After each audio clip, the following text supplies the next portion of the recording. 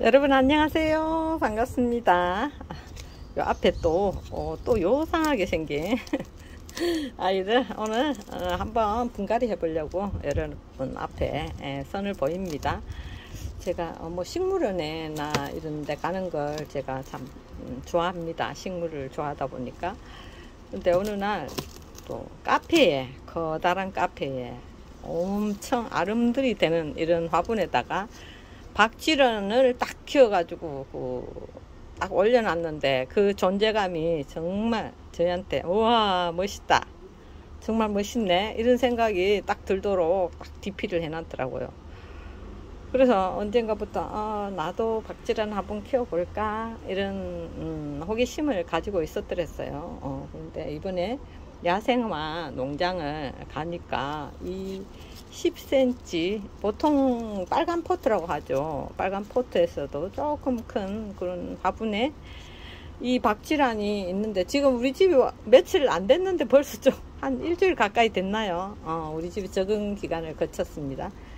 벌써 더 많이 커진 것 같아요. 어, 또 여기 영양엽이라고 이렇게 처음에는 이걸 몰랐었거든요. 어, 콩팥 모양이라는 영양엽이랍니다. 이건 또 생식엽이라고 하네요. 제가 공부를 좀 했습니다. 어, 이렇게 넓적하게 이렇게 에, 자라는 것이 눈에 오늘 분갈이 하려고 보니까 눈에 확 들어옵니다. 어, 이 아이는 음, 뭐 고사리과 어, 무슨 종속과 뭐 이렇게 하잖아요. 식물 분류를 할 때 고사리과라고 하더라고요. 그래서 또 오스트레일리아나 이런 데가 원산지라고 하고 또 어 제가 보기에는 이 고사리과가 저도 어 고사리를 하나 키우고 있습니다. 몇 년 된 고사리가 막 그 줄기가 손가락만한 그런 고사리를 하나 키우고 있는데요. 어, 그런 아이들이라면 그렇게 어렵지 않겠다. 뭐 이런 생각도 공부하다 보니까 들기도 하더라고요. 그 모든 식물을 대할 때 제가 조금 겁 없이 키우는 그런 면이 없잖아 있는 것 같습니다. 어, 식물원에 가면 높이 매달아 놓고 뭐 어, 나무에 붙여서 어, 자라, 붙어서 자라고 있다든가 하는 그런 걸 많이 보잖아요. 어, 나무나 이제 돌이나 이런 데 붙어서 어, 사는 식물을 착생식물이라고 하잖아요. 흔히들. 근데 얘도 그런 종류의 하나라서 어, 그렇게 뭐, 어, 물을 많이 먹지 않아도 되겠다 싶은 생각이 들더라고요. 바위나 뭐 나무에 붙어서 살면 음, 비가 안 올 때는 자연적으로 산다면 비가 안 올 때면 굉장히 건조하잖아요. 그러면서도 또 비가 오면 또 물을 흠뻑 맞고 또 살아나고 하는 그런 특성이 있는 음, 식물이기 때문에 예, 저는 그냥 이 바구니에다가 빼니까 이 화원에서는 농장에서는 뭐 나름대로 흙이나 이런 데서 어, 키웠겠지만 저기 뽑아서 이 털지 않겠습니다. 그대로 어, 있는 그대로를 저는 바구니에 이 카네이션 바구니 같은 어, 나무나 뭐 이런 목부작 할 만한 그런 재료가 없기 때문에 목부작, 석부작 이렇게 많이 키우는데 예, 저는 이 바구니를 이용해서 한번 키워보도록 하겠습니다. 당분간 이거 저 너무 키가 커요. 그래도 공중에 매달아 놓고 이렇게 매달아 놓고 키우기도 하더라고요. 근데 저는 여기다가 바구니에다가 그대로 어, 속에 비닐이 깔려 있죠. 보통은 음, 꽃바구니들은 여기다가 바크랑 섞인 재활용 흙을 일단 밑에 깔았습니다. 그리고 얘를 똑바로 넣지 않고 약간 삐딱선을 태워서 이렇게 걸어 놓는다 생각하고 약간 삐딱하게 한번 심어 볼 생각입니다 아, 보통 이렇게 난을 심을 때 보면 이런 바크라는 나무 껍데기 종류에다가 많이 심죠. 그래서 저도 밑에 에, 흙이 섞인 음, 어, 바크와 아, 위에는 또 이렇게 에, 바크를 넉넉히 채워줄게요. 물이 그냥 음, 빠질 대로 확 빠지겠죠 버스 여기 물을 흠뻑 머금고 있기도 하지만 저 난 뿌리들이 물이 안 빠지면 난 뿌리들이 썩어 없어 썩어서 죽게 되잖아요. 그래서 난 이게 심을 때 쓰는 재료를 제가 넉넉히 깔았습니다. 그리고 약간 긴 잎을 앞으로 향하게 해서 약간 삐딱하게. 뒷모습은 이런 모습이 되도록 삐딱하게 한 다음에 이렇게 걸어 둔다면 앞으로 약간 흘러내리게 예, 이렇게 심어 보도록 하겠습니다. 밑에 깔았고요. 옆에 엉덩이를 살짝 든 모습에서 어, 이런 이끼들 집에 재, 이것도 재활용 이끼입니다. 예, 이끼로 어, 채워주도록 하겠습니다. 얘들은 물을 준다기보다는 뭐 공중 습도나 또 스프레이 예, 이런 하는 형태를 어, 어, 좋아한답니다. 그래서 온 다습한 환경에서 얘가 잘 자라긴 하는데요.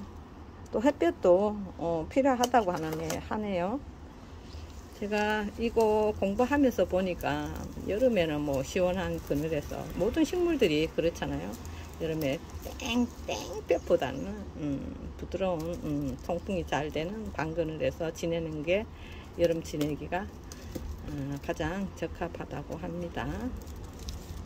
어, 햇볕에 너무 있으면 애들이 힘들어해요. 사람도 힘들잖아요. 그래서 요, 요 아이도 어, 분갈이를 해서 어, 베란다 아, 햇빛 잘 되는 곳이 없어요 저희 집에는 여름에는 겨울에는 대신 햇빛이 잘 들겠죠 겨울에는 햇빛을 많이 보여주라고 합니다 그래서 통풍이 잘 되는 창가에다가 두고요 여름 지나고 나서 가을부터는 이제 어, 얘도 더 어, 햇빛 많이 먹고 더 예뻐질 거예요. 지금도 충분히 예쁩니다.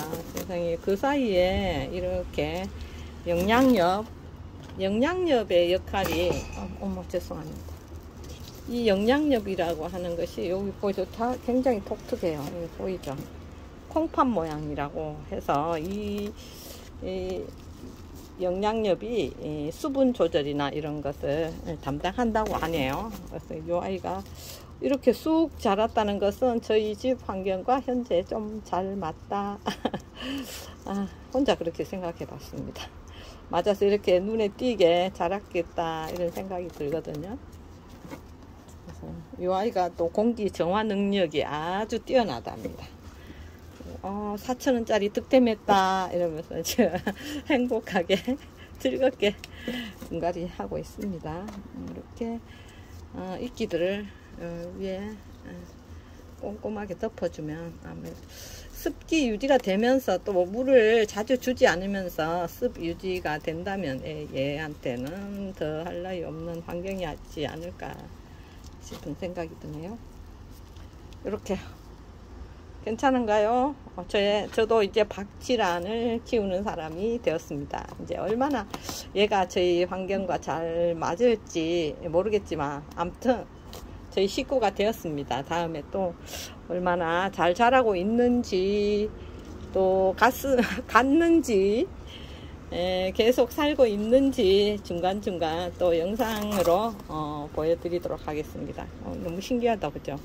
이파리가 중간에 이렇게 있습니다. 이렇게 나름대로 만족하면서 어, 쉬운 분갈이 한번 해봤습니다. 여러분들 그 대품이 되는 그날까지 함께 봐주시고 응원해 주세요. 오늘도 어, 저와 함께 식물 공부 함께 해주셔서 너무너무 감사합니다. 박쥐랑 음, 정말 독특하고 어, 멋지지 않습니까? 아, 식물원에만 있는 것이 아니라 우리 집에도 박쥐란 하나쯤 있다. 이런 자신감, 자부감. 아, 그렇습니다. 아, 오늘도 함께 해주셔서 너무너무 감사합니다. 너, 더워지는 날씨 늘 건강하시고요. 즐거운 마음으로 어, 살아갔으면 좋겠습니다. 감사합니다. 고맙습니다.